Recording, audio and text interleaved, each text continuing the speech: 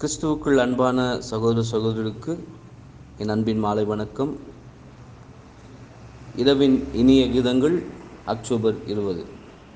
நீதி நிமித்தம் துன்பப்படுகிறவர்கள் பாக்கியவான்கள் பரலோக ராஜ்யம் அவர்களுடையது.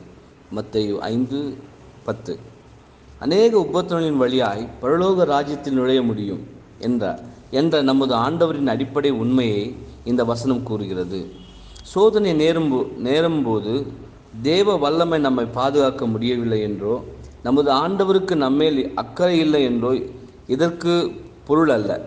மாறாக சபைக்கு கொடுக்கப்படும் சோதனைக்கேற்ப புதிய சுபாவம் விருத்தி அடைந்து போதிக்கப்பட்டு உருவாக்கப்படும் கத்தரின் மேல் வைக்கும் விசுவாசத்தின் மூலமாகவும் சோதனைகள் பரீட்சைகள் மூலமாகவும் தான் அது பூமிக்குரிய அங்கங்களுடன் நீடித்திருக்கும்.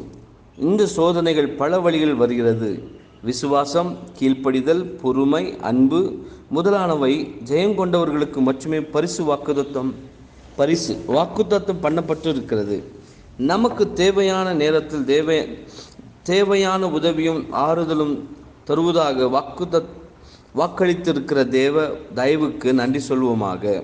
நம் இருதயம் உண்மையோடு இருந்து முழு பலத்தோடும் நாம் கிரியை செய்தால் மீதியை தேவன் பார்த்து கொள்ளுவார் என்பதே. அமேன்